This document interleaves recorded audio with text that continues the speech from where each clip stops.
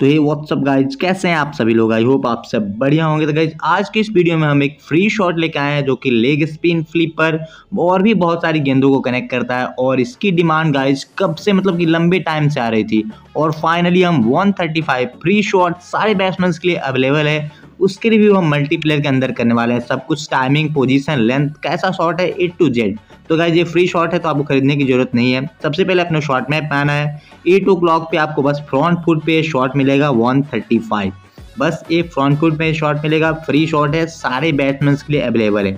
Defensive batsman से लेके balance batsman तक, हर एक बैट्समैन के लिए ये शॉट अवेलेबल है फ्रंट फुट से। अब यहाँ से आपको सेव कर देना है। अब बात करते हैं कि ये शॉर्ट है 135 को किस किस लेंथ को कनेक्ट करता है? क्योंकि लेंथ जानना बहुत ज़रूरी है। यॉर्क लेंथ को आप लोग देख लीजिए, बिल्कुल कनेक्ट करता है। बहुत लोगों का भाई डाउट है इस शॉर्ट को लेके कि यॉर्क लेंथ को कनेक्ट नहीं करता है। लेकिन एक बार हम और दिखाते हैं, आपको देख लीजिए। बिल्कुल भाई यॉर्क लेंथ को बिल्कुल आसान तरीके से कनेक्ट करता है। बस पोजीशन सही रखना। एक स्टेप की दूरी रखना यॉर्कर के लिए।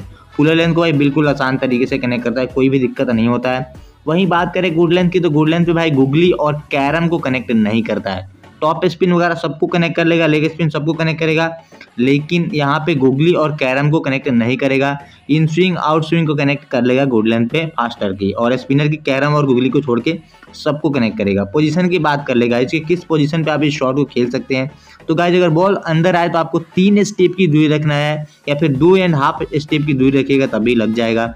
अगर बॉल बाहर निकले तो आपको एक स्टेप की दूरी रखना है। बॉल सीधे रहे तो आपको दो स्टेप की दूरी रखना है। तो अब इस शॉट को खेलना है। तो ये हो गया आपका पोजीशन अब बात करते हैं कि आप इस शॉट को कैसे टाइमिंग कर सकते हो, क्योंकि टाइमिंग बहुत इंपॉर्टेंट है।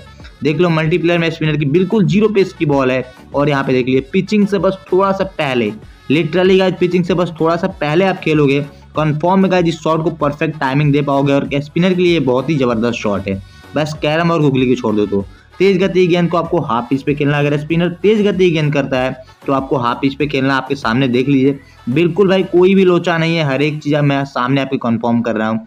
फास्टर की धीमी गति गेंद को आपको हाफ़ पिच के करीब बॉल चली जाए, तब आपको खेलना है। थोड़ी सी आप नेट्स पे प्रैक्टिस करोगे, सब कुछ समझ में आ जाएगा, लेकिन नेट्स पे प्रैक्टिस करना भाई। नेट्स दिया हुआ है तो भाई उसका इस्तेमाल भी करो। यहाँ पे देखो, अगर तेज गति की गेंद हो तो हाथ से जैसे ही गेंद थोड़ी सी रिलीज़ हो जाएगी, उस टाइम आपको खेलना है। जैसे ही फास्टर की तेज गति गेंद हाथ से रिलीज़ हो जाएगी, तब आपको खेलना है। परफेक्ट टाइमिंग दे पाओगे, कोई भी दिक्कत नहीं होगा। तो यहाँ पे देख सकते हो गाइज़ आराम से शॉर्ट लेंथ की बॉल कनेक्ट कर रहे हैं। आपके सामने इन स्विंग है कनेक्ट किया है। तो भाई करता भी है, ये शॉट बहुत हद तक अच्छा है। देख लो टॉप स्पिन है, इसको भी कनेक्ट किया। आपके सामने गाइज़ मैंने सब कुछ प्रूफ दे दिया है। 135 का फिर भी कोई दिक्कत हो कमेंट बॉक्स में पूछ सकते हो। और गाइज़ हमें ये रिव्यू बनाने में बहुत मेहनत लगता है। लिटरली गाइज़ बहुत कुछ देखने पड़ते हैं, बहुत मेहनत लगता है। तो आप लोगों से बस एक रिक्वेस्ट है कि लाइक कर दो और सब्सक्राइब कर दो।